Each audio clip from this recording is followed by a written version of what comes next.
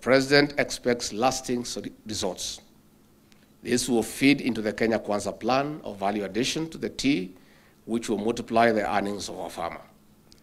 Currently, up to 95% of our tea is exported in raw form. This means farmers do not get maximum value for their sweat.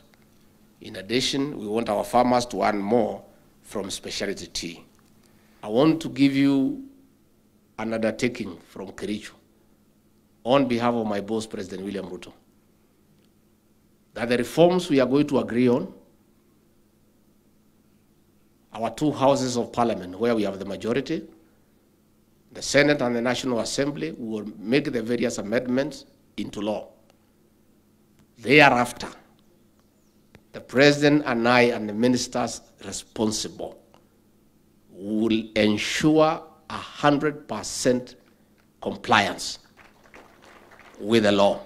So we must also think through this conference, what do we do with the brokerage?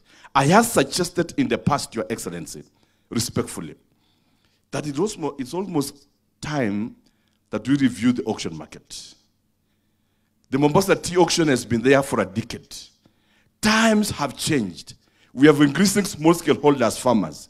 And I had proposed, and I still propose today, that going forward we may need to think if we can have an auction center within these devolved regions and be able then to stop and cut cost of transport and all that comes along with it. Those are some of the thinkings that can spark growth as we move forward.